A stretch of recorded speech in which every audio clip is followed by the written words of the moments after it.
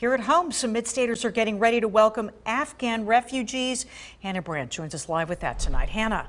Alicia, no one seems to know exactly when Afghan refugees might arrive here in our area, but when they do, they are certain to need help with their transition.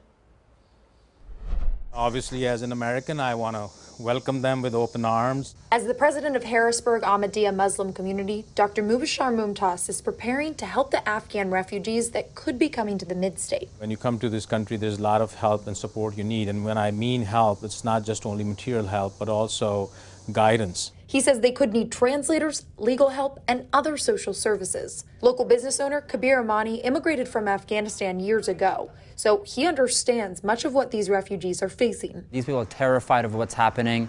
They want a normal life, and that's why they got out. And they want, obviously, they're going to have a better life over here. They're going to have a safety that they're looking for. Some of his family and friends were just able to escape the country too and are trying to make their way to Mechanicsburg now. Thankfully, they are out of the, uh, Afghanistan. They were able to get a flight over to Qatar. They're just waiting to come over here. So they're safe now, thankfully. And it's families like these that Dr. Mumtaz and his organization are ready to help make a home here. We're here to help and support in whatever way, whether it's a little help we can provide or more. But even as there's hope for those coming to the U.S., there's sadness for those left behind.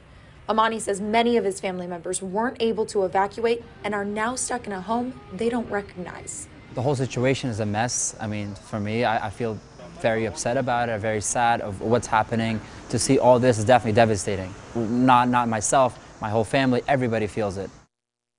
Dr. Mumtaz tells me if you want to help, the best way you can do it is to reach out to your local charities and community organizations to let them know. There's a lot of uncertainty right now about exactly what is needed. So he says connecting directly with those organizations helps them to build a network of resources. Live in the studio, Hannah Brandt, ABC 27 News.